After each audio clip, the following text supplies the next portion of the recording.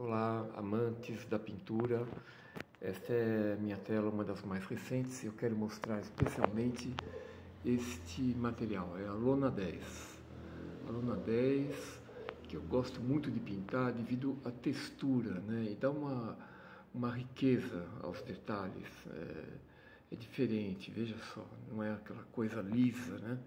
aquele algodãozinho vulnerável a rasgos, a, acidentes. Não, isso aqui é muito usado por uh, os pintores que pintam dimensões grandes, abstratos, ou, ou mesmo clássico, né? É, é, porque a dimensão grande ela é mais vulnerável a, a rasgos, a acidentes tal. E essa aqui não, essa aqui é para durar 400 anos, sem exagero. Então tá aqui, olha, veja que, que textura linda.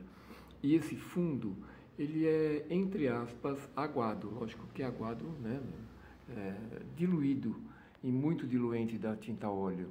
No caso, terebintina, óleo de linhaça e pouquíssima tinta para dar essa coloração, saindo do branco. Tá vendo?